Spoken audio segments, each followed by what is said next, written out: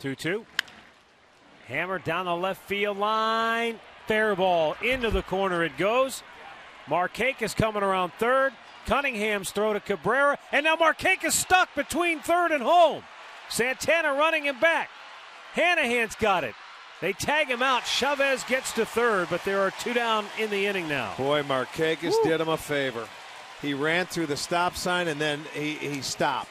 He should have just kept on going. Cabrera bobbled the ball. He would have been safe.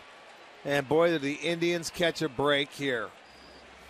You know, you're thinking scoring on this play. It was a fastball up and out over the plate. He keeps it fair.